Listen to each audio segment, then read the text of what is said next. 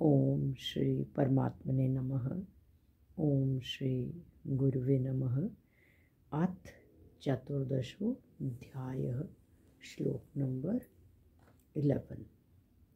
ये श्लोक है, सर्वद्वारेषु देहेऽस्मिन् सर्वद्वारेषु देहेऽस्मिन् प्रकाश उपजायते। प्रकाश उपजायते।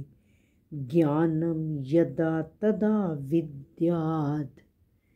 ज्ञानं यदा तदा विद्याद्।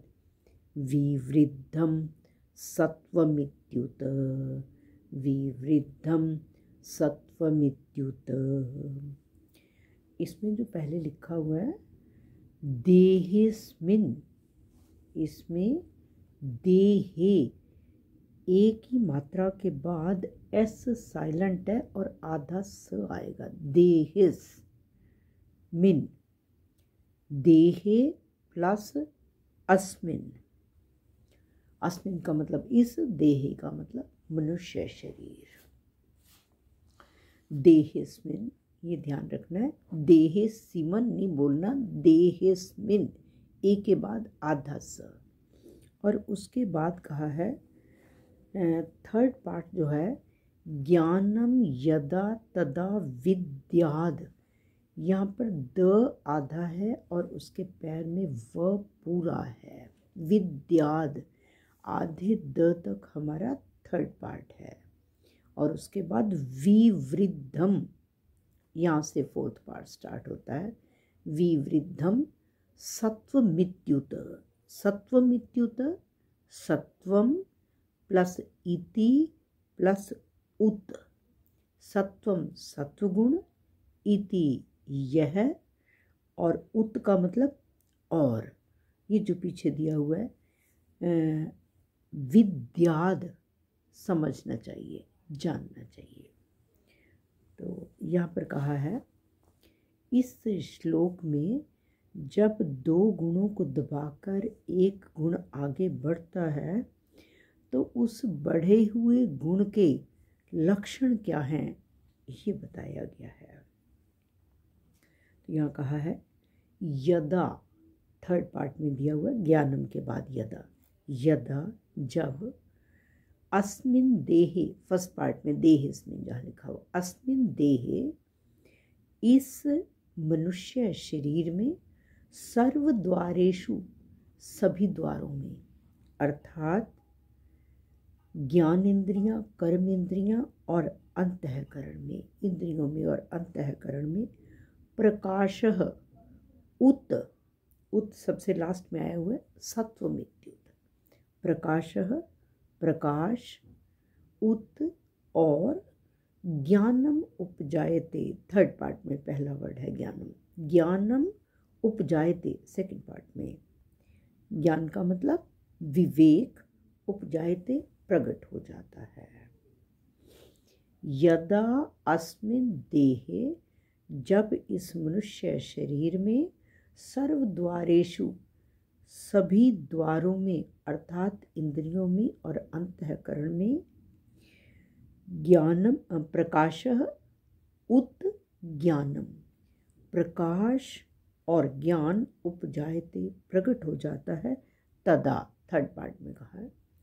तदा इति विद्याद, सत्व मित्युत है जहाँ, सत्वम प्लस इति।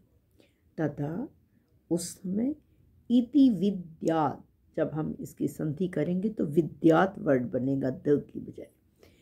तदा इति विद्या तब यह समझना चाहिए, सत्वम विवृद्धम, कि सत्व गुण बढ़ा हुआ है।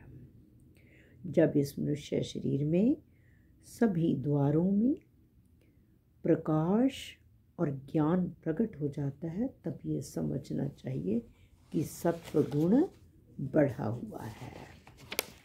और आगे कहा है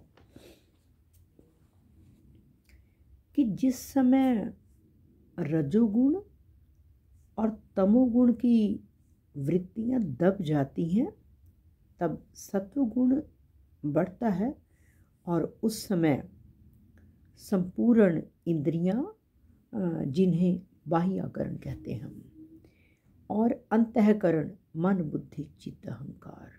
ज्ञान इंद्रियाँ और कर्म इंद्रियाँ बाह्यकरण है और अंतकरण, मन, बुद्धि, चित्त, अहंकार, इनमें स्वच्छता और निर्मलता प्रकट हो जाती है। जैसे सूर्य के प्रकाश में, सभी वस्तुएँ हमें साफ़ साफ़ दिखती हैं।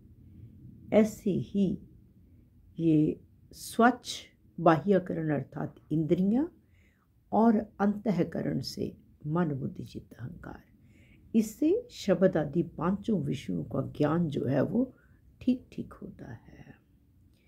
आँख का विषय अगर रूप है तो इंसान देखता है अगर सत्गुण बढ़ा हुआ है कि मुझे क्या देखना चाहिए? मेरे लिए क्या ठीक है? कान का विषय शब्द है। मेरे सुनने के लिए क्या अच्छा है? और ये ज्ञान हो जाता है। इसी प्रकार से जीभा के लिए कि मेरे लिए क्या ठीक रहेगा मेरे शरीर के मुताबिक। और त्वचा के लिए स्पर्श और नासिका के लिए घ्राण। ये विषयों का ज्ञान जो है ठीक ठीक होने लगता है और मन से प्रत्येक विषय का चिंतन वो बिल्कुल ठीक होने लगता है।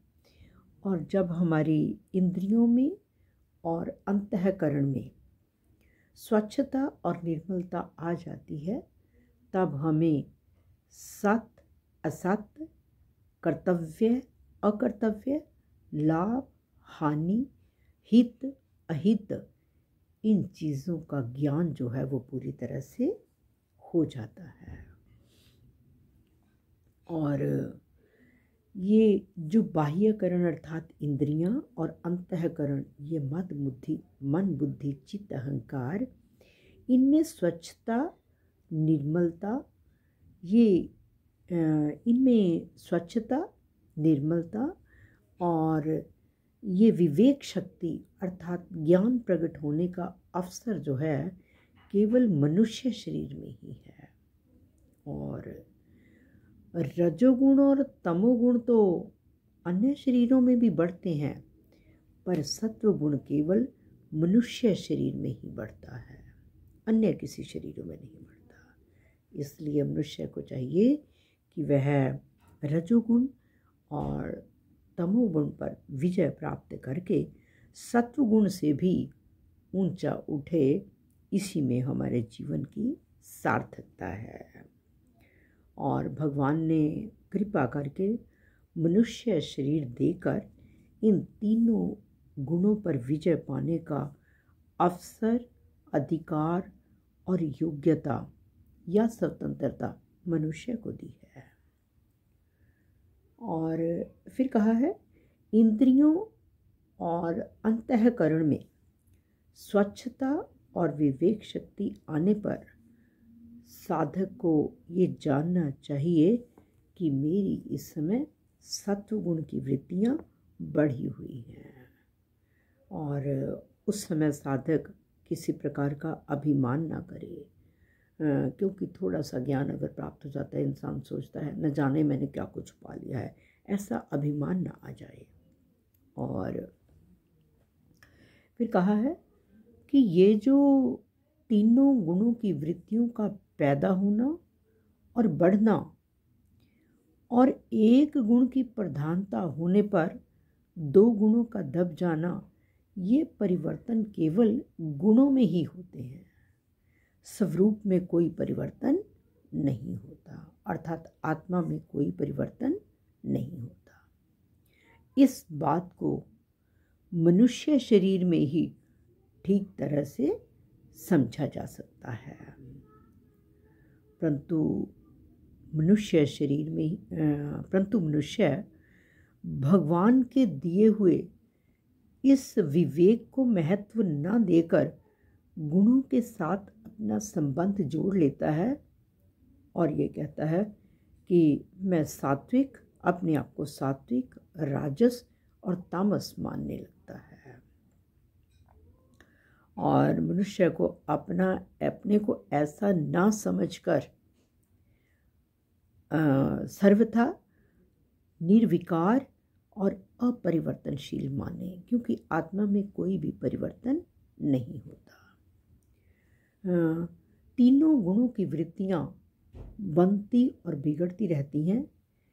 इन, ये जो स्वयं है, परिवर्तन रहित है। आत्मा में कोई परिवर्तन नहीं है। और इन सब वृत्तियों को देखने वाला आत्मा है। यदि स्वयं भी, अर्थात आत्मा भी बदलने वाला होता तो इन वृत्तियों के बनने और बिगड़ने को कौन देखता?